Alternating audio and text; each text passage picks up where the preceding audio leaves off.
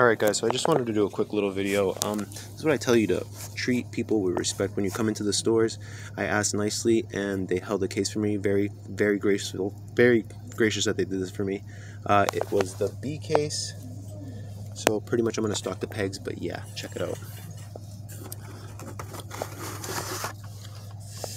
Yes, my first one. I've been looking all over the place for this place, going to every Walmart, going to every freaking Target and nothing.